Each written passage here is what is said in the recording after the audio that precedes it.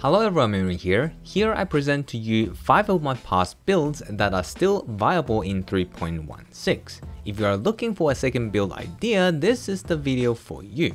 I'll roughly talk about their strengths and weaknesses as I show you how they clear an Awakener 8 tier 16 map. If you are interested in any one of them, you can find the updated POB down in the description for more details on how to build them. So let's get started. First one is the Reap Mine Trapper. The selling point of this build is you do not need to aim, because the trap that is spit out of the mine will jump towards the nearest enemy. And also, even though this is a trapper in its core, but since you are also using mines, so you can benefit from some of the mine passives as well. Now, compared to the previous version, its survivability has been nerfed because the evasion mechanic received a rework. Before 3.16, this build uses Born in the Shadow Ascendancy to get 50% evasion.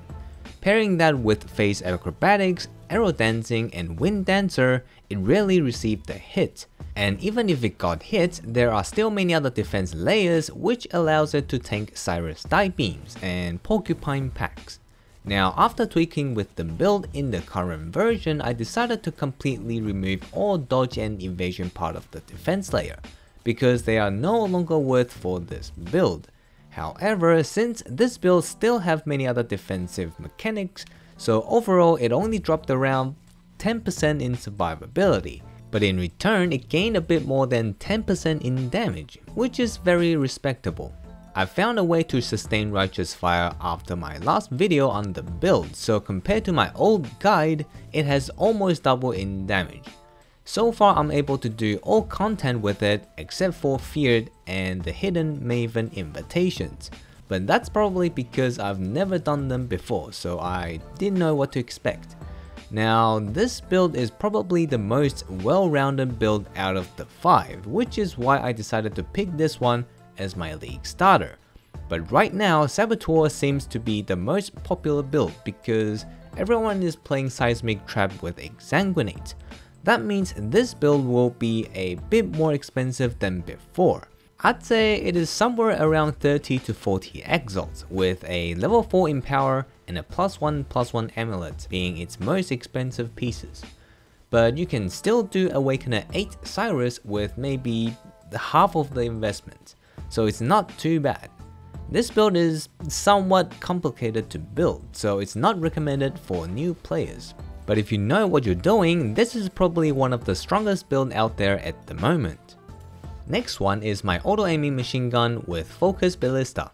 It is a very simple build with a very simple playstyle. What it does is it summons up to 5 ballista totems that uses barrage, and when we use barrage ourselves, all barrage projectiles will funnel into the hydrosphere that we create through the Asenath Chant helmet, and the chain mechanic will guide all projectiles towards the enemy so that none of the projectile will miss. This build is fairly cheap, sitting at a bit less than 10 exalt. It ended up dropping around 10% in damage on POB, but in practice it is not really noticeable. I was still clearing Awakener 8 tier 16 maps no problem. It is the second fastest mapper on the list, and even though she is naturally squishy as a Deadeye, she doesn't die all that often because most of the time everything dies off screen. And even if you are forced to be close to the enemies, they will be knocked away from you very fast. However, in terms of bossing ability, it is not doing that great, at least with the amount of investment my character has. The Shaper Guardians may be low Awakener level Sirus are the limit. It can definitely clear all contents, but the investment required is too big for it to be worth it in my opinion, so I ended up not choosing it as my league starter. But this is probably the most newbie friendly build on the list as it doesn't even use any cluster jewels. And many of the people who tried it as their league starter has very positive feedback on this build. So if you are looking for a build to no brain currency farming for a long period of time, this one would be a good choice for you. Next one down the list, we have the Cast on Crit Cyclone Reap. This build uses the Vulconus Battle Mage combo with Avatar Fire to get crazy high base, fire damage, and critical rate. And with the help of the Righteous Providence Ascendancy and over 400 on both Strength and Intelligence, it can easily reach above 90% critical rate. You can get 100% if you have equivalent gear to the POB, which is actually surprisingly cheap if you consider what it is able to do, sitting at a bit more than 10 exalts. Compared to the previous version, it has slightly more damage and slightly tankier. It doesn't feel right when something received a buff and not getting a nerf somewhere else for this game. But I couldn't really work out what was nerfed for this build, so that means the build will be able to clear Sirus no problem, and probably Maven as well. Its clear speed is around average and it can handle expedition mobs, so I'd assume it can also handle the Scourge mechanic as well. In terms of overall power level, I'd say this is on the same level as the Mine Trapper, but because this is a melee build, so it naturally dies more often, and that's about the only reason why I didn't choose this build to league start. If the Trapper gear gets too expensive, this is one of my fallback options. Now it is a lot cheaper to reach high-end content compared to the Trapper, but it does have a steep progression curve where you will feel pretty bad before you have over 90% on both your accuracy and critical rates for your Cyclone. But once you get there, you will be running over everything like a truck, and I'm fairly certain that it still has a lot of potential to improve with my current knowledge on the game.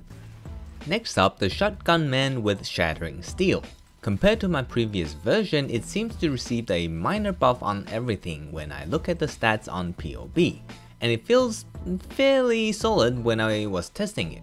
I realized that it has a weirdly slow movement speed when I was revisiting the build for this video, but I guess Leap Slam, Quicksilver Flask and Onslaught is there to solve the problem. This build at its current state is the cheapest out of the 5, sitting at less than 8 exalts to build. It is also a very simple build which makes it more newbie friendly compared to most of the other builds. However, without further investments, tier 16 maps are probably its limit, I didn't want to keep improving on this build mainly because it has a poor bossing speed and it requires some attention to positioning to play this build properly. Positioning and aiming just to do damage is something that I don't like in Path of Exile since you need to devote most of your attention on avoiding danger when it comes to high-end content. That's why the overall power level of this build is rated the lowest on this list. However, what it does have is a disgustingly high clear potential on high density and high HP enemy packs. If Sirus is always surrounded with a big pack of minions, then this build might become the highest bossing DPS build on this list. Unfortunately, most of the endgame bosses usually don't summon any minions, so without any buffs or changes to the skill, it is not good enough to do endgame content. With that said, Lancing Steel seems to be a viable alternative for this build, since it has the highest bossing DPS out of all the steel skills. But right now, many other build ideas looks more interesting to me with the new skill tree rework. So for now, I'm gonna focus on those instead. Finally, the last build on the list, we have the Herald of Thunder Auto Bomber. This build is a classic, but I did add some of my own ideas into the build, giving it 7 power charges and 7 frenzy charges for more speed and damage, and also Void Sphere to deal with high HP monster packs. This build does have the highest mapping speed out of the 5 and on top of that, it also have a decent bossing DPS. And because it clears the map so fast, even with the flask nerfs, you can still piano all the flasks as if the nerf never existed. Now the downside of this build is that it is kinda squishy and it is kinda expensive just to get it functional. It's expensive because it relies on cluster jewels and some other jewels for most of its damage, since the skill has limited ways for damage boost. And the majority of these jewels are kinda expensive themselves, since you do need to get the high tier versions of these jewels for this build to perform. This build you see on the screen costs at least 15 exalts, probably higher. But at its current state, it can do up to Awakener for Sirus, which is pretty respectable. If the price of these core jewels turns out to be not as high, I might give it a second look because compared to before, it seems to receive some small buffs on survivability. so I'm kinda curious to find out if it has the potential to become a top tier build.